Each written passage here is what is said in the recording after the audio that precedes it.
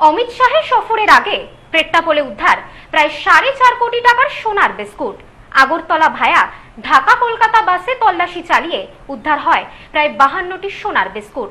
আটক, চালক ও খালাসি। মঙ্গলবার পেট্রাপোল সফরে আসবেন স্বরাষ্ট্রমন্ত্রী অমিত শাহ।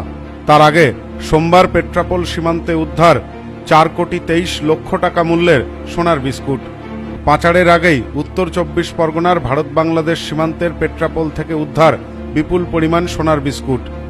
আগরতলা থেকে ঢাকা হয়ে কলকাতাগামী বাসে তল্লাশি চালিয়ে উদ্ধার হয়েছে বাইশটি সোনার বিস্কুট।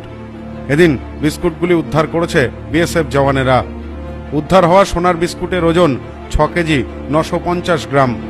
সাম্প্রতিককালে পেট্রাপোল সীমান্তে এত বিপুল পরিমাণ সোনার বিস্কুট একসাথে উদ্ধার হয়নি বলেই বিএসএফ সূত্রে জানা গেছে, প্রসঙ্গত রাত পোহালেই, অর্থাৎ মঙ্গলবার পেট্রাপোলে আসবেন দেশের স্বরাষ্ট্রমন্ত্রী অমিত শাহ। দ্বিতীয় কার্গো গেটের শিলান্যাস, সীমান্ত বাণিজ্য বিষয়ে পরিদর্শন, পেট্রাপোল থানার উদ্বোধন সহ একাধিক কর্মসূচি রয়েছে স্বরাষ্ট্রমন্ত্রীর। স্বাভাবিকভাবেই এই মুহূর্তে সীমান্তে বাড়ানো হয়েছে বিএসএফের নজরদারি। গত কয়েকদিন ধরেই সীমান্তে বাড়তি জওয়ান মোতায়েন করা হয়েছে। বিএসএফ জানিয়েছে এদিন কর্তব্যরত জওয়ানেরা বিশ্বস্ত সূত্রে খবর পান, ইন্টারন্যাশনাল প্যাসেঞ্জার বাসে বিপুল পরিমাণ সোনা পাচার হচ্ছে।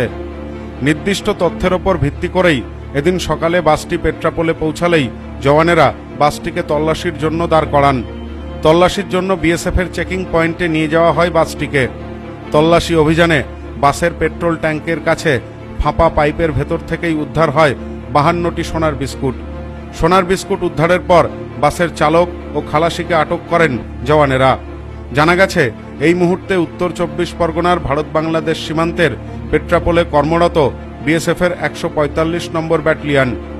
বিএসএফ সূত্রে জানা গেছে, ধৃত বাস চালক মোহাম্মদ মুস্তাফা, বাসের খালাসি মতিউর রহমান আকন্দা, দুজনেরই বাড়ি বাংলাদেশে।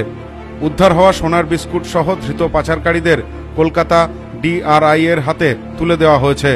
সূত্রের খবর, এদিন সকাল ছটা চল্লিশ নাগাদ বাংলাদেশ সীমান্ত পেরিয়ে ভারতে প্রবেশ করে আন্তর্জাতিক যাত্রীবাহী এই বাস।